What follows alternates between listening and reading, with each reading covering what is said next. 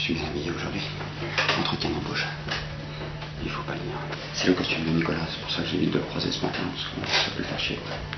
Bon ben, bienvenue à la coloc. Là, dans deux minutes, il y a tout le monde qui va arriver, ça va être lourd. Mais sinon, hein. je sors du taf. Parce que la coloc, c'est bien sympa, mais bon. C'est bien parce que ça sépare les frais. On dépense un peu moins d'argent.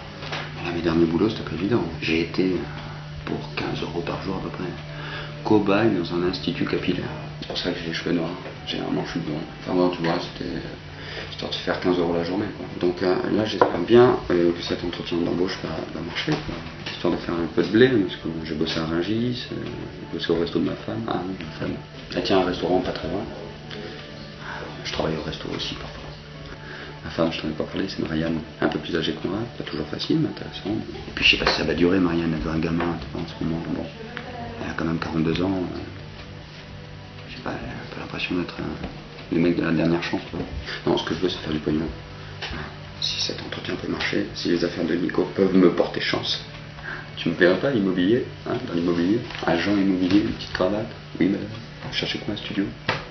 J'en ai plein. C'est pas toujours vrai. Je dis pas toujours les vraies choses. C'est pas que je mens, mais c'est que je cache une partie de la vérité. C'est pas mentir, ça. On est d'accord? Non Je vais taxer sa sacoche. Tu, dis pas, tu gardes pour toi.